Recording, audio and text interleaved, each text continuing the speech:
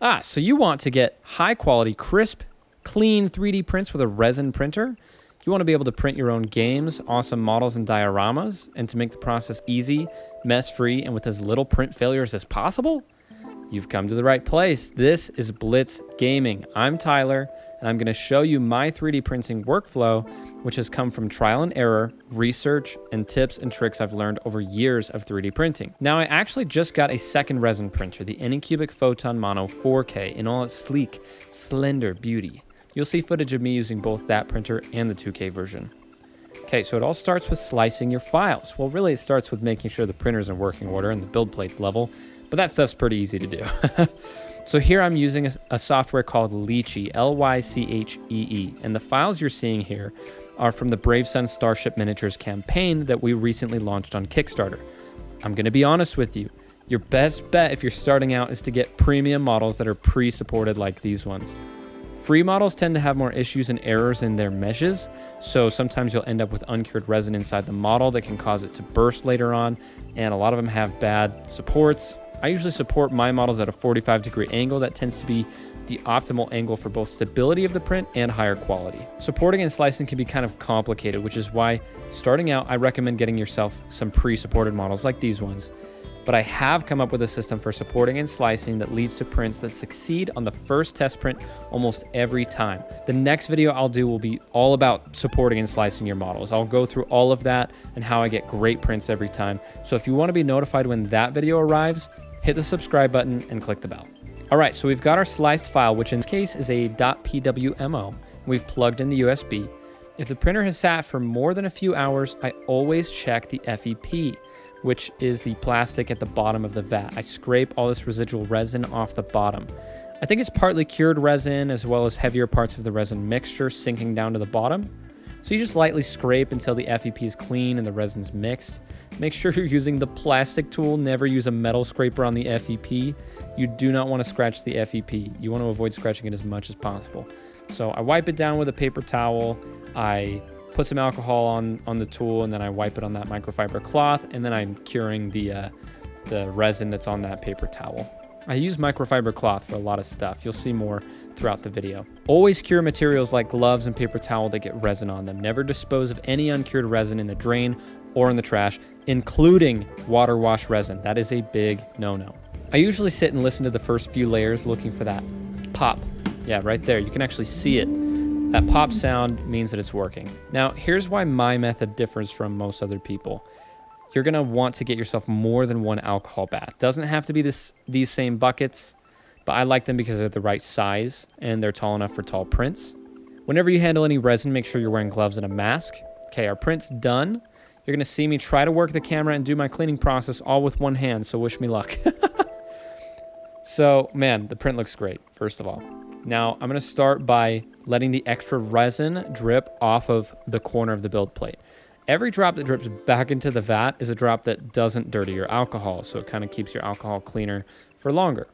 Um, so it's just kind of a matter of patience, uh, but th this step is not like you don't have to sit here and wait for 20 minutes while all the resin drops. So now I'm going to go ahead and give the build plate with the print on it a nice dunk in the first bath. I call this the dirty bath.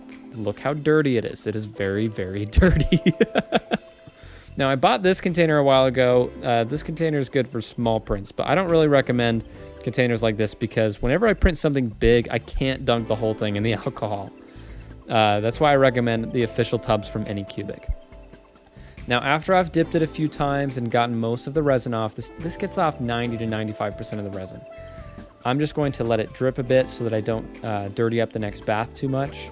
Here we go. We're going to dunk it in here. Now, because the print was so wide, I didn't notice at first it didn't go down all the way. I'll fix that in just a second. But this bath, I call the medium bath. I've got just enough alcohol in there that even the top of the build plate gets cleaned. You could, of course, use the wash and cure machine and have it spin up and clean your print for you. I just find it's not a big deal to do it manually, and it doesn't take a lot of time. There we go. I've fixed it. And I just, I keep the basket in there just, you know, for convenience, just makes it a little easier, I guess. And then after that, we're going to go ahead and let it drip a little bit and then dip it in the clean bath, which is the final and third bath. Okay, now it's time for the last bath and look at how clean this alcohol is. Yes, there's a film of cured resin at the bottom, but you can see down to the bottom. That's that's important. Um, even though this alcohol has been used for like 50 plus prints in the last couple months. That means that when we take our models out, when they dry, they'll be clean. They won't have hardly any residual uncured resin and they won't be sticky. Sometimes even curing your models for a lot of extra time in the, uh, the curing machine still doesn't stop them from being sticky. But this process of doing the three baths, the dirty bath, the medium bath, the clean bath, it works beautifully. It works so beautifully every time.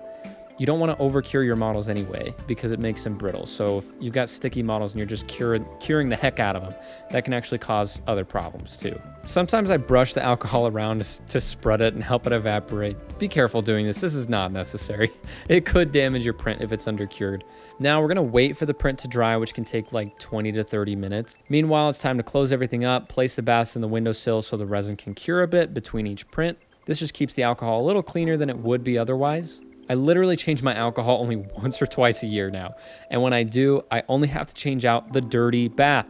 The medium bath and the clean bath cycle down. They become the dirty bath and the medium bath. And I pour myself a new clean bath with 91% or higher isopropyl alcohol. Now I've got three baths again. Now the models are dry, so I'm gonna pop them off with what? A butter knife. yeah, I found recently it actually works a lot better, at least when the print has the angled support base from Lychee Slicer because I can just put some upward force at the base of the print and the print pops off without scratching the build plate. It was only a little bit difficult here because the models were so close that the bases were actually overlapping. Now I'm going to carefully take the supports off little by little so I don't damage any fragile parts of the model. You could use flush cutters, but I find it's only necessary when you need to be accurate and not break off thin parts. And there's our model. It looks gorgeous. I accidentally printed the the version without a rod hole. but luckily we have some rod hole adapters that we released as part of the campaign. So I'll glue those on in just a little bit. Same thing here with the base. I'm just gonna carefully pop it off. Look at how clean and smooth that model is. This is not even the 4K printer. This print specifically was from that printer you see right there. And that's the 2K uh, version. And these are the kind of results you can expect. Okay, now I'm just gonna get the residual supports off with a toothbrush and we're going to finish the curing process. Usually you don't fully cure the model as you print. So while they're curing, I'm just gonna clean the build plate just to make sure there's no residual resin. Now, I don't recommend doing this with a paper towel actually. I'm doing a paper towel here, but I found recently it's better to use a microfiber cloth so the particles from the paper towel don't get into your resin, which creates holes, sometimes big ones in your 3D print, because the, the paper towel particles are just gonna be on the build plate and then the build plate just goes into the resin. It's a problem. And the models are done. Let's glue on some adapters. These adapters are going to let me use the twist lock mounting system, which was designed for the Brave Sun campaign. You just twist the models on and they're secure and ready to go. You've got two new models ready for the Brave Sun combat system. If you want to learn more about supporting and slicing your models so you get great prints the first time around, then click the subscribe button below and click the bell to be notified when that video arrives. You're going to learn some great tips and tricks to speed up the process get higher quality prints, and even save money while 3D printing. I highly recommend the Anycubic Photon Mono or Mono 4K as a starting printer. They're affordable, they're easy to use, they have little maintenance, and you still get great, great quality. There's links in the description for these printers and some of the tools that I recommend, like the disposable microfiber cloths, which I actually use multiple times before I throw each of them away, and some other helpful tools. Thanks so much for watching. Thank you for growing our channel like a thousand percent from the last video. What the heck, you guys?